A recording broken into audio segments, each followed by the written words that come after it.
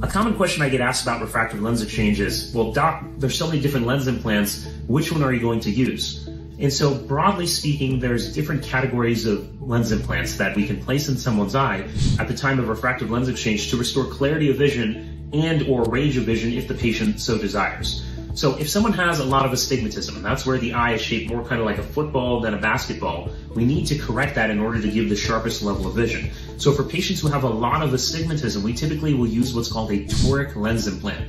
A toric lens implant corrects astigmatism very much in the same way that toric contact lenses would correct astigmatism.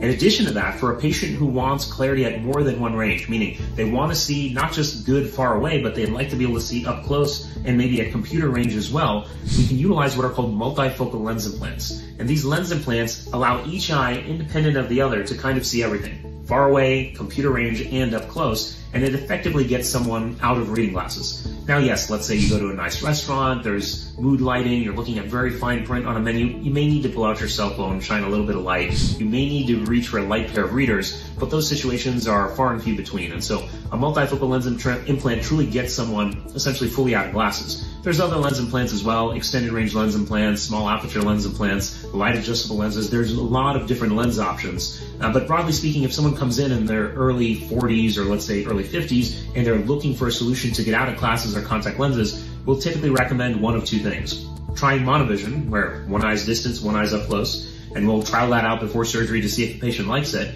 If they don't like it though, we typically are recommending a multifocal lens implant because that's what's going to give the patient the vision they're looking for. It'll give them the clarity of vision up close, clarity of vision at computer range, and also allow them to see terrific far away as well. So the world of lens implants is ever changing. It's just like the tech industry. Every year or two, there's some new lens implant that has some incremental improvement in the benefits it can give patients. And then every five to 10 years, there's a big leap forward in technology. And that's what makes my life and job exciting. There's always something new to learn and there's always some new technology I can offer patients to give them the best quality of vision that they're seeking.